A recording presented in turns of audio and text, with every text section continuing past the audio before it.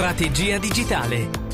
Idee, novità e consigli per imprenditori e professionisti appassionati di web marketing e business online. E business online. A cura di Giulio Gaudiano. Ben trovati da Giulio Gaudiano e benvenuti in una nuova puntata di Strategia Digitale. Buona settimana a tutti, siamo pronti a riniziare alla grande e io devo dire ho riniziato ieri sera, anzi ieri notte. Prima di andare a dormire ho visto un video e dopo qualche risata è arrivata una parte che mi ha fatto molto riflettere. L'ho condivisa già con voi stamattina sul nostro canale Telegram, telegram.me slash strategia digitale e dopo averla condivisa mi sono detto ma perché non parlare di questo? Volevo, avevo già segnato che stamattina volevo parlare di quelli che sono secondo me i tre pilastri del marketing digitale. E questo video, questa, questo messaggio che ho mandato sul canale Telegram fa esattamente il match, si incontra perfettamente con questo concetto, con questi tre pilastri, aiuta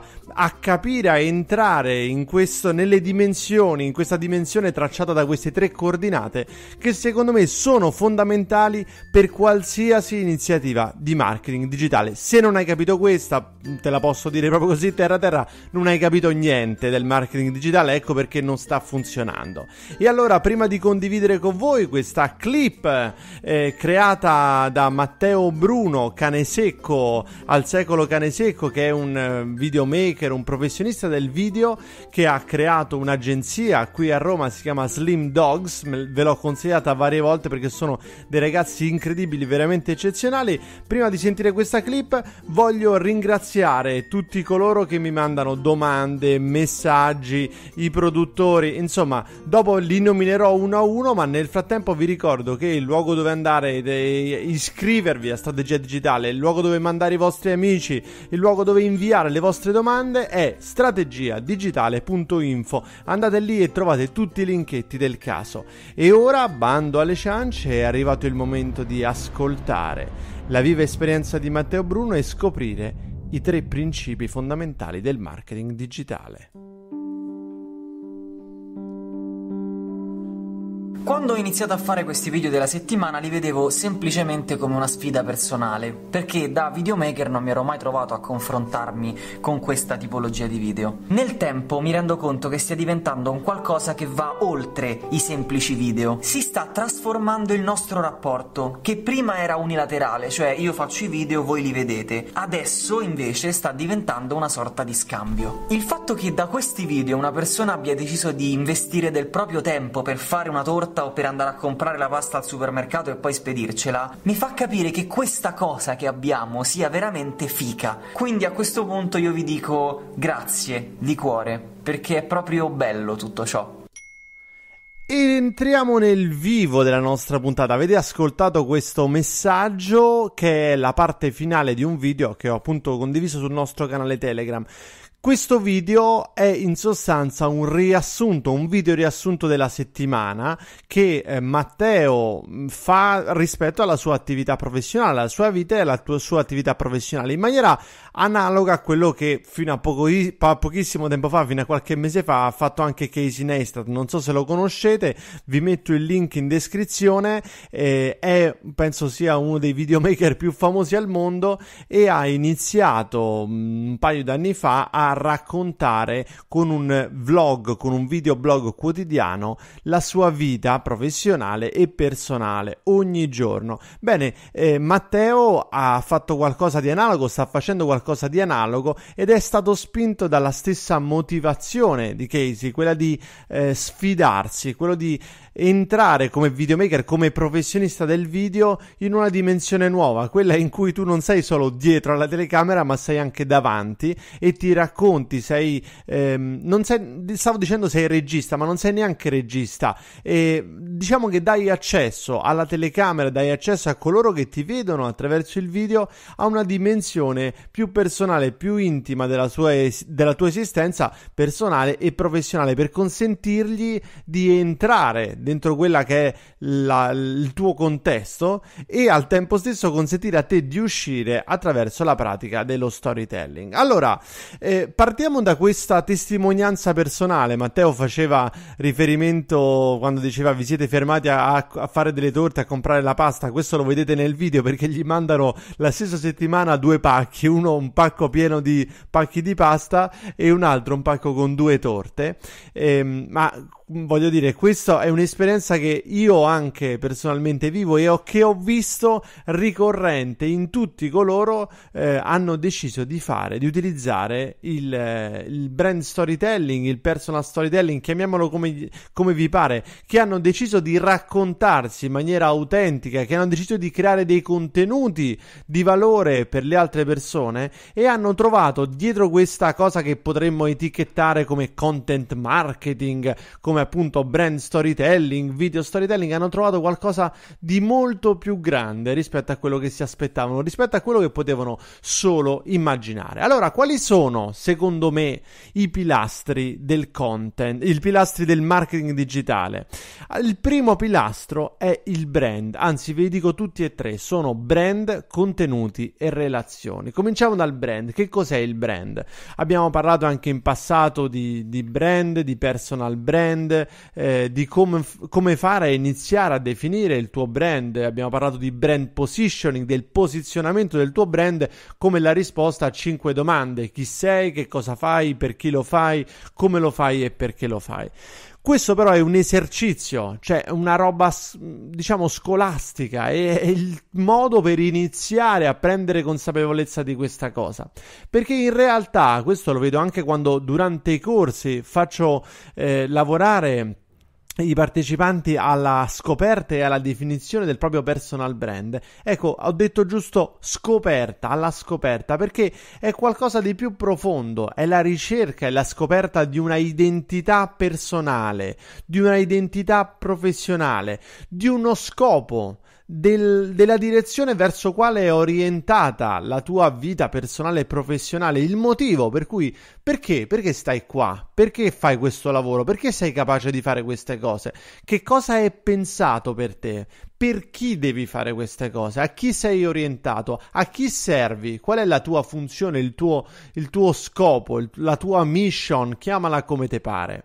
E allora, cosa succede quando si comincia a lavorare così? No? Su un primo livello, quando cominci a parlare di personal brand, eh, sembra che devi creare una specie di, di avatar, di pupazzetto, di, te, di, immagine di te stesso, più pulita e rifinita possibile, eh, che non dice le parolacce, che eh, come dire, offre il massimo della qualità al minimo del prezzo. Ecco, eh, c'è l'idea che sia mm, una specie di facsimile il personal brand. Mentre, dopo un po' lavorandoci, lavorandoci, lavorandoci, co- i partecipanti ai corsi, quello, la mia esperienza dal vivo è quella con partecipanti a corsi e persone che ho guidato in un percorso di coaching e di consulenza, quello che ho visto è che a un certo punto si eh, dischiude un uovo si dischiude quell'uovo che ognuno di noi ha creato per difendere la nostra parte più liquida, più fluida, eh, da, dalla vulnerabilità, dal, dagli attacchi dell'esterno, dal, dal cinismo,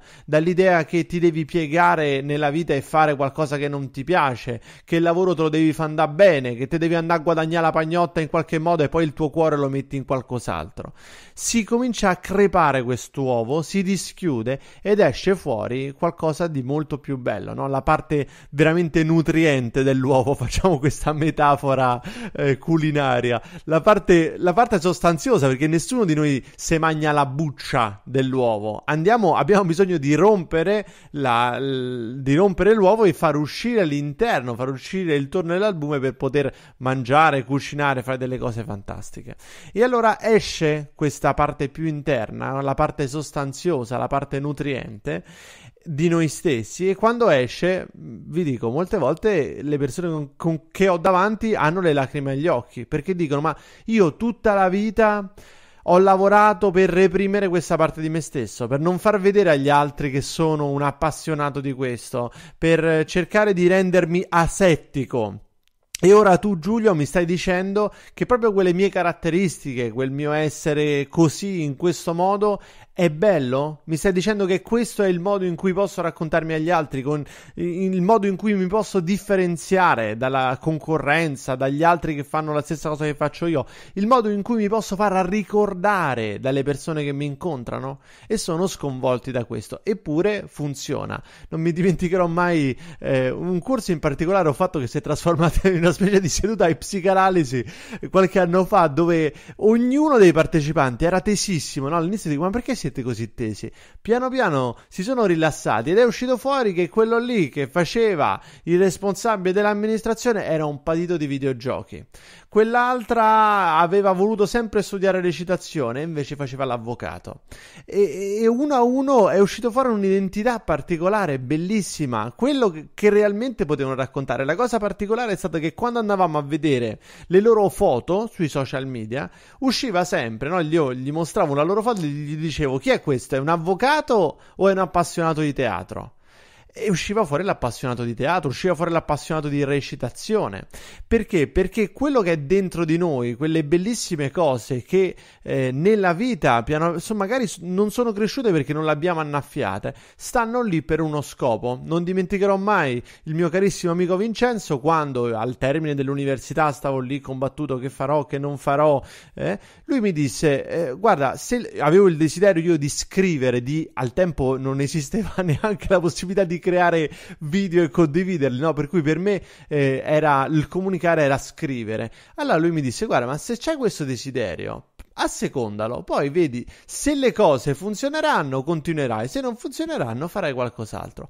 L'ho assecondato, quel giorno stesso ho accompagnato un altro mio carissimo amico a fare la prova per un master in giornalismo, eh, ho fatto così il test quasi per scherzo e poi sono entrato e poi la mia vita ha preso tutta una direzione particolare. Allora, il brand è il centro, la tua identità, chi sei? Guardati allo specchio, chi sei? Smetti di raccontare quello che fai, la qualità dei tuoi prodotti. Inizia inizia a raccontare chi sei tu, quello in cui credi, quello per cui lavori, quello che ti fa svegliare la notte, quello che ti fa svegliare la mattina, quello che non ti manda a letto la notte, quello che, quello che, che per cui i tuoi amici ti chiamano e vogliono da te avere un consiglio. Ecco, prendi quella tua identità, definiscila, abbine consapevolezza. Questo è il primo passo, il brand. Il secondo elemento fondamentale, eh, perché se, dobbiamo partire dal brand, perché se non hai questa consapevolezza puoi fare quello che ti pare, puoi spendere i miliardi in campagne su Facebook, non andrai da nessuna parte. Appena smetterai di immettere benzina in questo sistema, si sgonfierà, un po' come quando apri le torte che hanno iniziato a lievitare, apri il forno, puff, la torta si sgonfia, e esattamente questo succederà. Il secondo elemento sono i contenuti, sono le storie.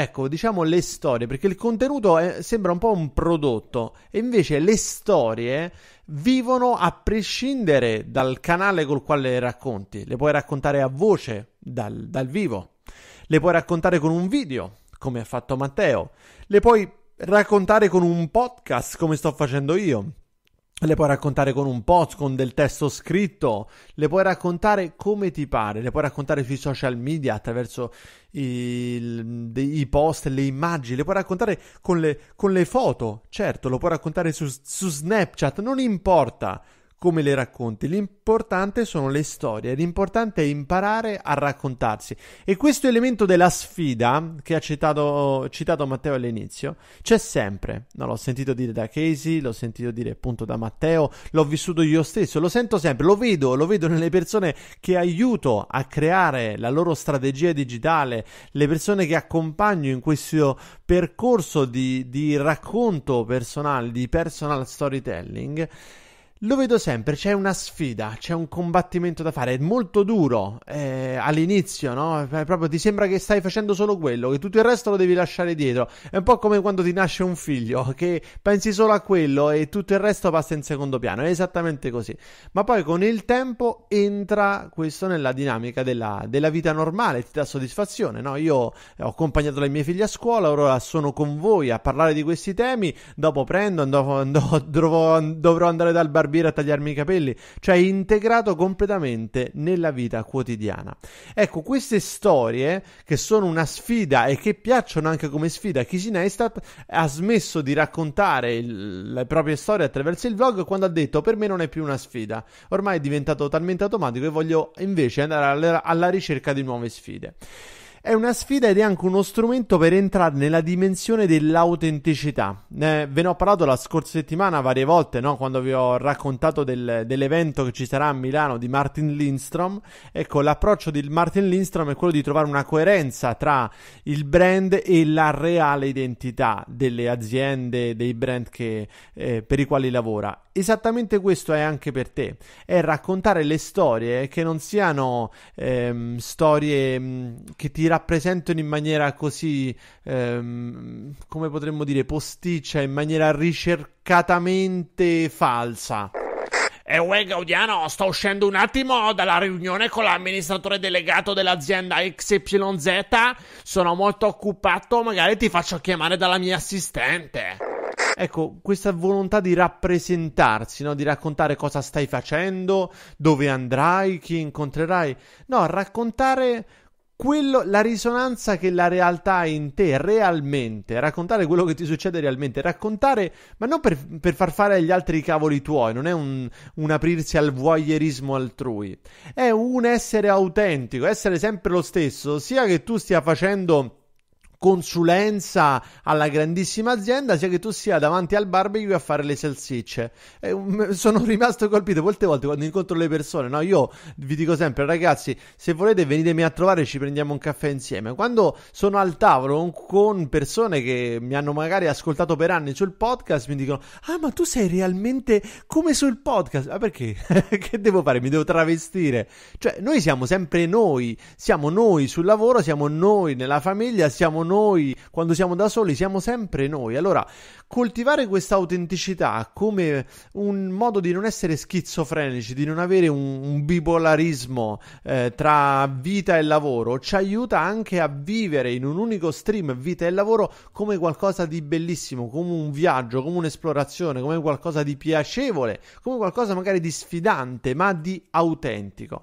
E diventa tutto questo un'attitudine, diventa un'attitudine. Eh, l'altro giorno parlavo con un mio eh, compagno di mastermind il quale mi ha detto che ha comprato dei, dei nuovi maglioni, delle nuove maglie, eh, perché si è stufato di vedersi nei video sempre con le stesse. Ecco, allora eh, questo è un esempio scherzoso, no? Però l'idea è proprio questa. Quando tu cominci a raccontarti, ti accorgi a volte di quanto sono pallose alcune storie, di quanto stai raccontando sempre la stessa storia, di quanto va a finire sempre nello stesso modo, il tuo eroe che saresti tu ricade sempre negli stessi errori.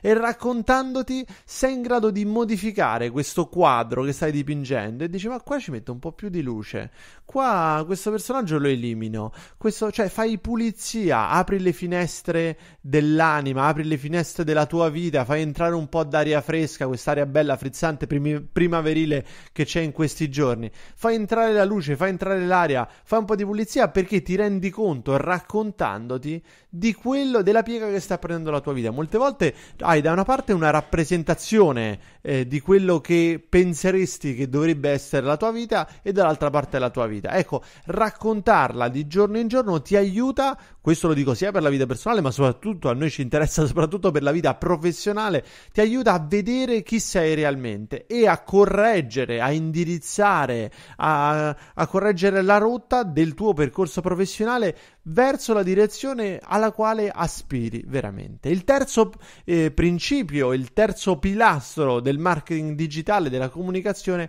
sono secondo me le relazioni le relazioni. Anche qua la clip che abbiamo ascoltato di Matteo eh, è particolarmente interessante, no? ci dirige in maniera particolare eh, verso la scoperta di qualcosa di unico.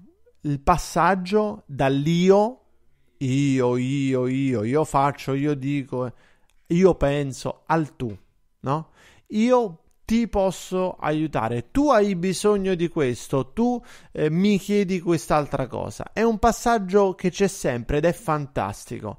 Eh, l'ho sperimentato tantissime volte, no? Dai, vi ho sempre raccontato come questo podcast non ci sarebbe se tu che stai ascoltando, se uno di voi che sta ascoltando non fosse venuto su iTunes a lasciare una recensione e a dire guarda che un podcast che ci lancia tre puntate, 4, 5, 10 puntate bellissime, poi sparisce, è un po' un autogol, non, non va bene. Potete trovare questa recensione andando su iTunes, andando a vedere valutazioni e recensioni, mettendo le più critiche e verrà fuori quell'unica recensione con due stellette dove questa persona, quella recensione con due stellette, qualcun altro mi ha aiutato, mi ha dato consapevolezza di quello che stavo facendo, o meglio di quello che non stavo facendo e mi ha incoraggiato a ritornare al podcast due anni fa. Ecco, questo passaggio dall'io al tu, che è lo stesso che c'è stato quando abbiamo iniziato la, l'iniziativa di crowdfunding, quando ho pensato, ma scusa, ma perché? Se dietro strategia digitale ci sono delle persone appassionate, degli ascoltatori che non si perdono una puntata, che non si alzano dal letto se non ascoltano strategia digitale, anzi scusatemi perché oggi vi ho fatto alzare tardi, allora condividiamo questo progetto, diamo anche a loro la possibilità di partecipare realmente, facciamolo insieme, perché dobbiamo sempre stare in quest'ottica del io lo faccio e tu mi ascolti, facciamolo insieme, la stessa cosa di quando ho cominciato a rispondere alle vostre domande. Avete delle domande concrete, ma che sto qua a fare a parlare del, del ciurlo? Par- ditemi quello che vi serve, io vi aiuto a risolvere i vostri dubbi, a vedere in maniera diversa quei problemi professionali, quei problemi di strategia digitale, quei problemi di business online che non riuscite a risolvere. E quindi esattamente questo, il passaggio dall'io al tu. E poi bellissimo, no? Quando ho cominciato, mi ricordo ancora quando ho cominciato a ricevere i primi pacchi, no? Da parte vostra eh, l'olio di Lorenzo Polacco, produttore di Olio Poldo, che ha cominciato a, a mandarmi de- degli oli fantastici. Ormai siamo diventati dipendenti dai suoi oli. Eh, I regali, le, mm, pillole di tecnologia.it che mi ha mandato il tracker GPS, te, il Shem Rush che mi ha mandato i biscottini di, di zenzero con l'aperol. Per cui siamo stati tutti sotto le feste sempre a bere spritz. Insomma, ognuno di voi, ogni singolo regalo che ho tutti qua, qua intorno a a me, quelli albero che non erano dei peribili e non mi sono già mangiato, sono diventati eh, dei piccoli trofei. Quelli sono i trofei. Non me ne frega niente del trofeo del festival del marketing, della, della coccardina da mettere al petto. Quelli sono i veri trofei. Sono i trofei. Il Massimiliano Berto che mi ha mandato il gioco da tavolo per il quale ha fatto il video promozionale. Guarda, ha, ora piano piano che ci penso comincio a ricordarmeli nuovamente. Questi sono i trofei, quello che testimoniano la tua tua reale utilità per gli altri. Allora non si tratta di focalizzarti su te stesso, ma si tratta di, una volta aver capito chi sei professionalmente e di averlo cominciato a raccontare, di cominciare a raccontare anche le storie degli altri, di cominciare ad aiutare gli altri, di focalizzarti su quello che puoi fare tu per loro e di passare dal virtuale al reale, di incontrare queste persone, no? A me mi fanno ridere ogni tanto questi che fanno i guru, ascoltatemi tutti, poi quando li incontri dal vivo fanno gli schizzignosi. E mentre è bellissimo quando incontri una persona che ogni giorno conosci ah, e segui attraverso i video, i contenuti, e poi la incontri ed è bellissimo incontrarla perché ci può essere subito un rapporto personale, si può andare subito al sodo.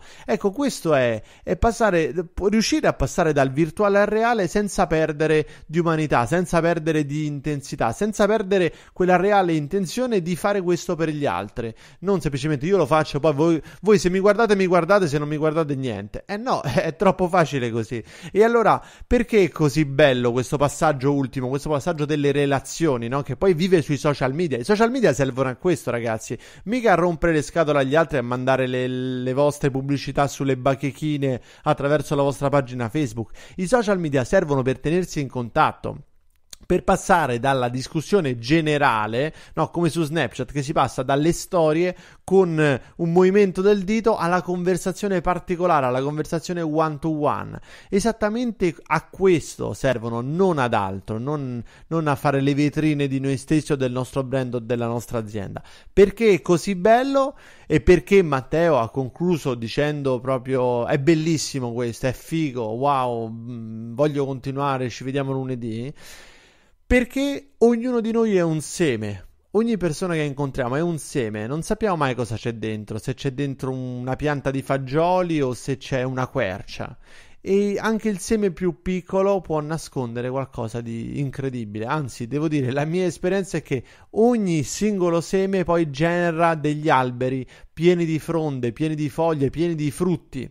Proprio sabato parlavo con mia moglie, eh, ho fatto un colloquio per eh, fare, avviare un progetto molto bello qui con la Regione Lazio e mi diceva ma come hai conosciuto questi? Guarda, gli ho detto sono andato a fare un incontro di formazione perché mi aveva chiamato questa persona che era in contatto con un'altra persona che ascolta il mio podcast, ho incontrato e poi c'è stata questa catena.